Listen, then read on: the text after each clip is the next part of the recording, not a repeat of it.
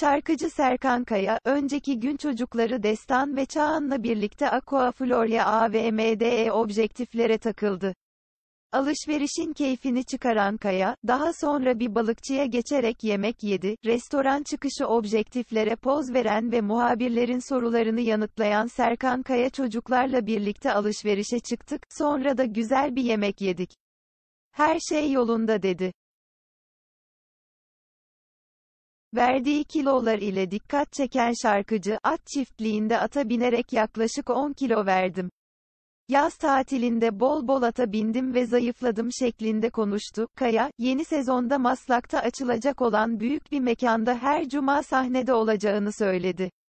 Kısa süren sohbetin ardından gazetecilere teşekkür eden şarkıcı, çocuklarıyla birlikte AVM'den ayrıldı.